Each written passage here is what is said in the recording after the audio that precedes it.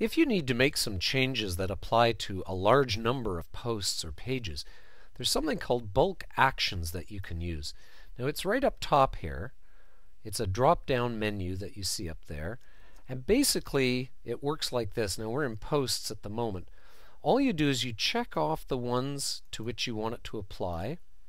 By the way, if you want it to apply to all of them, you just click title here. But let's just choose these three for example. So then what you do is you choose, in this case, I want to edit them. I could move them to the trash all at one time, or I could edit them. This is the most interesting one right here because there's our little list right over here. You notice it's got all three items in it. I could remove them at this last minute. I decide, well, maybe I don't want to apply it to sample post 2. I just click on it like that, and now it's gone. So I'm now editing these two here. I can add them to a category. I can't remove from categories because each of them is in different categories.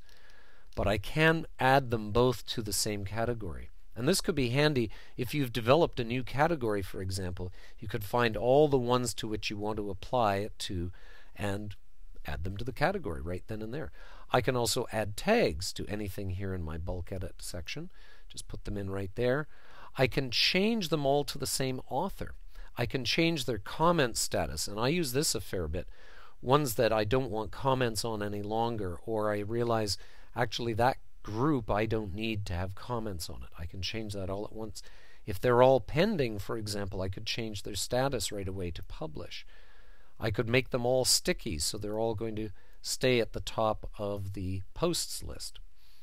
All of this can be done in bulk. And again, if you don't want that, you just click on there. Now, one thing to keep in mind when you're doing this bulk work is it only applies to this screen. Now notice I've got multiple screens of posts here. I've got two screens worth.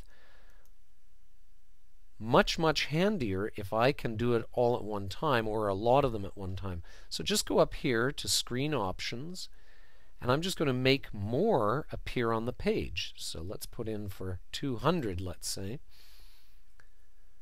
There we go. Now I've got a longer list, up to 200 of them at a time. And again, I can choose more of them, choose them all, whatever I want to do, and then choose my bulk action from there and hit apply. Now for pages, it's pretty much the same, except of course, again, we don't have categories and tags, but let's get these three together here. We do bulk actions, we hit apply, and there we go, our list again fewer things to deal with, but still very powerful. Changing the author, changing the parent. If I wanted to move all of these to a new grouping, to create them all as subpages of another page, I could do it right there. Same with template, change the template, comments, and status.